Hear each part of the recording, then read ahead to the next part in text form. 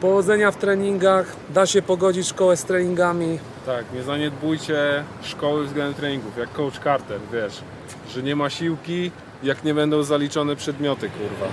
Trzeba mieć tu i tu, bo będzie chujnia. Nie? Ja nie mogę się pod tym podpisać, bo aż taki, taki złoty jak ty to nie byłem.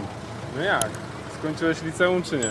No tak, No to o to mi Dobra. chodzi, kurwa. Ale Żebyś nie wiesz, zostawał gdzieś zawsze ten w drugiej trening- klasie.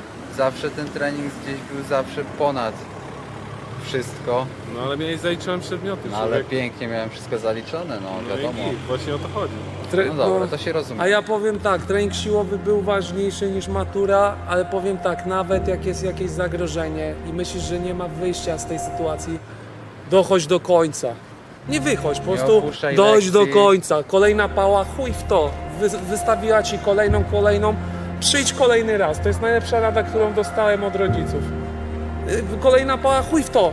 Pójdź do niej. No, ale to nie ma sensu. Ja już wtedy mądrzejszy byłem. Myślałem, że to już koniec świata, nie? Że mnie nie przepuści. Nie pierdolić i do końca kurwa katuj. A pani też ma, y, też ma sumienie przypuszczać. Jeszcze później na trójkę się okaże, że podciąga. No chyba, że naprawdę już taka kurwa się trafi, ale to, to, to już na to nie mamy wpływu.